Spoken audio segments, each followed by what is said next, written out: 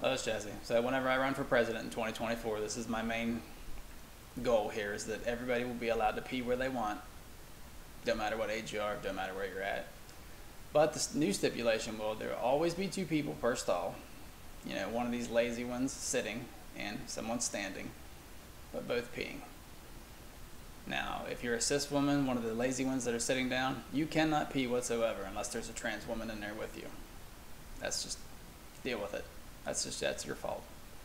So from now on, you know, we're not going to be building back better like Joe Biden. We're going to be building bigger boners, both men and women. So, yeah, I better be voted into office in 2024.